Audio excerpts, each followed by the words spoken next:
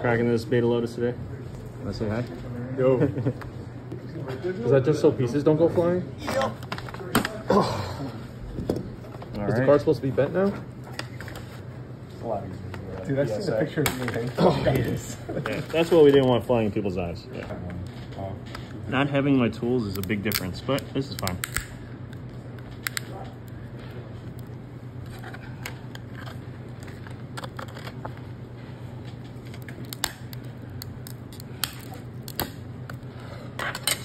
Beautiful. Nice. This is the second Beta Lotus I've ever cracked out of a case. All right.